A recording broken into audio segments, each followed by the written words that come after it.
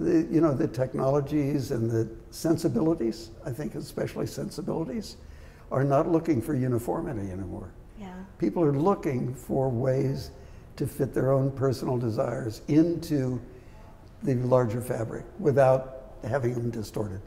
Yeah, so it's kind of almost like finding like a connection to the world Yeah. through your space. I think so. That's really and I cool. think there's a, uh, a receptivity that maybe wasn't around. I mean, I'm a child of the 50s, right? And that was definitely not around, right? Well, I mean, even like what they thought would be like the future home in the 50s is not quite what we ended up with.